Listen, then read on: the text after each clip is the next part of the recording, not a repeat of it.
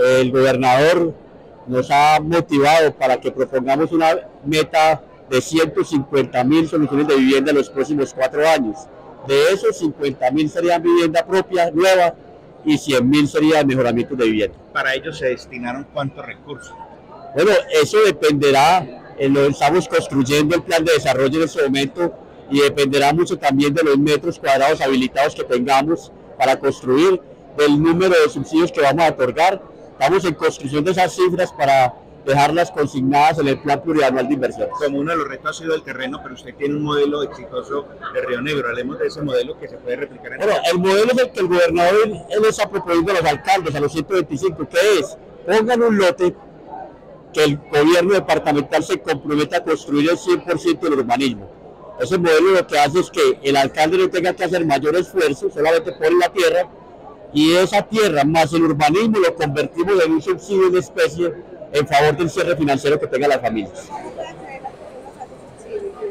Bueno, eh, primero hay que trabajar eso con los alcaldes. Los alcaldes son los que sacan las convocatorias para eh, asignar los subsidios y definir las familias beneficiarias de acuerdo a los criterios del gobierno nacional o de la ley.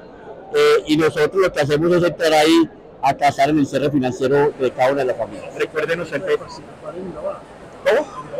Urabá le haremos un capítulo especial que ya inició con mi visita la semana, esta semana que termina, durante una semana donde dedicamos a ir a los municipios, a nueve de los once, a hablar con los alcaldes, concertar cifras en materia de vivienda nueva, de mejoramientos y de algo muy importante, titulación, tenencia segura de la vivienda para garantizar que este sea un departamento de propietarios.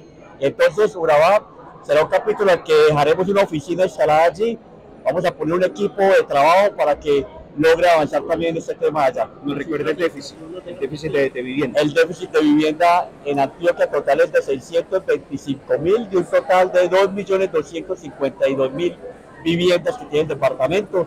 De esas 625 mil, poco más de 192 mil son viviendas nuevas que se requieren hacer para quedar en un déficit, en un 0% del déficit cuantitativo y necesitamos hacer cerca de 433 mil intervenciones de mejoramiento de vivienda para quedar en un 0% del déficit eh, cualitativo.